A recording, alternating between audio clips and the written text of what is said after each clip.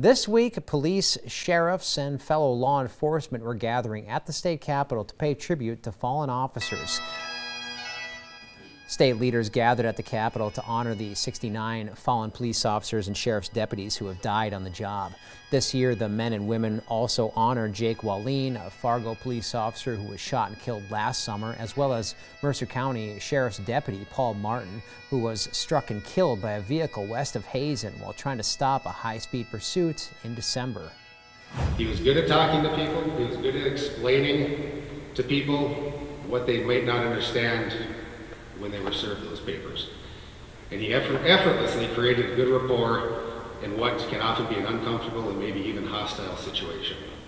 Paul's demeanor made people comfortable. He treated people with respect and dignity, regardless of their situation. This year, three names are being added to the State Peace Officer Memorial, which includes Martin Wallin and former Burleigh County Sheriff Charles McCarthy, who died in 1874 before North Dakota reached statehood.